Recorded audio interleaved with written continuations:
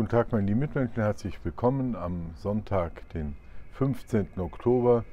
Das ist der 28. Sonntag im Jahreskreis. Der 15. Oktober wäre und ist der Gedenktag der großen Teresa von Avila. Solo Dios basta, Gott allein genügt. Aber äh, er genügt nicht zum Alleinsein, das ist so nicht gedacht, sondern wir sollen uns äh, vom dreifaltigen Gott, der in sich Einheit und Gemeinschaft ist, sollen wir uns in die Gemeinschaft der Menschen führen lassen, äh, für die wir gemacht sind mit unserer Sozialnatur.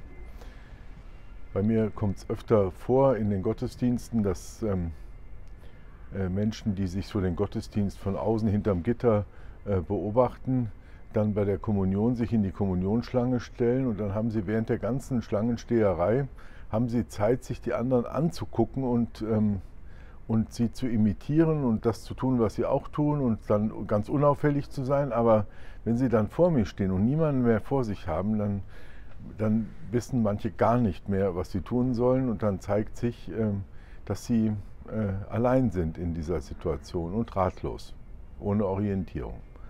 Äh, oder ähnlich äh, wo es noch üblich ist, dass Requien gefeiert werden. Dann kommen also die, äh, kommen die Angehörigen im schwarzen äh, Kleid und Anzug in die erste Reihe. Ähm, und das gehört sich irgendwie so. Natürlich lassen die Leute diesen Platz auch frei, also die normale Gemeinde. Aber ähm, wenn die, sagen wir mal, nicht mehr so Gottesdienst gewöhnt sind, dann, dann haben sie niemand mehr vor sich, an dem sie sehen könnten, wie es geht. Und dann zeigt sich eine Beklommenheit und Hilflosigkeit in ihrem, äh, in ihrem Verhalten. Sie wissen nicht, wann sie sich äh, stellen, setzen oder knien oder legen sollen. Ähm, ihnen fehlt ähm, das Maßnehmen an dem, was die anderen tun. An solche Einsamkeitserfahrungen musste ich denken, äh, äh als ich das Evangelium äh, betrachtet habe. In jener Zeit erzählte Jesus den hohen Priestern und den Ältesten des Volkes das folgende Gleichnis.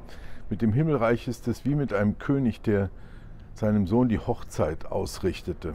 Er schickte seine Diener, um die eingeladenen Gäste zur Hochzeit rufen zu lassen, sie aber wollten nicht kommen.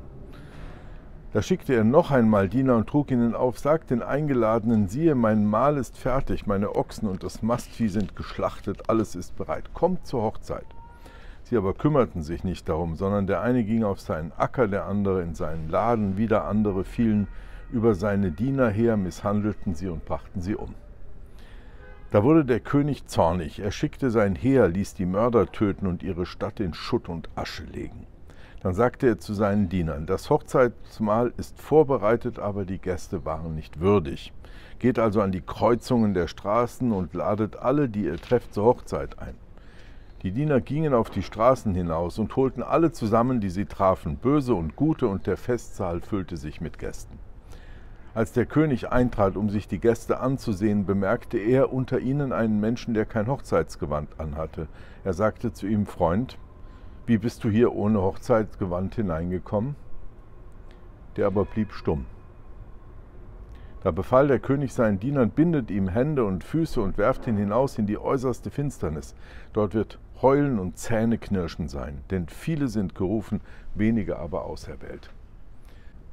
Ja, auch in diesem Evangelium, wie am letzten Sonntag, eine scharfe Israel-Kritik. Das sind die zunächst eingeladenen Gäste, ist für Jesus Israel, sein Volk, seine Leute, die nicht hören und nicht folgen wollen. Und dann weitet sich das Heil aus zu denen, die vorher nicht in Betracht kamen und die werden jetzt von den Hecken und Zäunen, wie es früher schön hieß, zusammengerufen, böse und gute.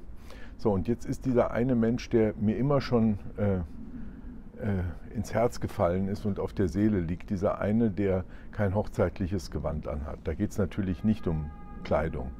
Aber was mir diesmal wirklich, ähm, wirklich äh, stark aufgefallen ist und was für mich eine Intuition ist, das ist der einsame Mensch, äh, der, äh, der nicht weiß, äh, wie er bei dieser Hochzeit sein soll. Er hat auch keinen, der, der jetzt neben ihm sitzt und für ihn aufspringt und eintritt und etwas erklärt oder auch einen, an den er sich wenden könnte, sondern er ist der, der Mensch, der ganz allein ist. Äh, und er ist auch stumm, er hat keine Worte, äh, er hat keine Bezüge in dem, was hier geschieht. Und, äh, und das, ähm, Das soll nicht sein. Wir sind äh, nicht dazu gemacht, alleine durch die Welt zu gehen, sondern wir sollen einander äh, behilflich sein, auch zu verstehen, das, was Gott äh, für uns bereitet hat und das, was Gott von uns erwartet und von uns möchte.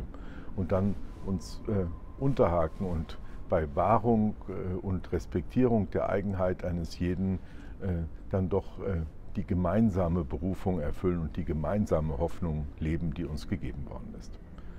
Einen wunderschönen Sonntag für Sie alle. Gott segne und behüte Sie alle.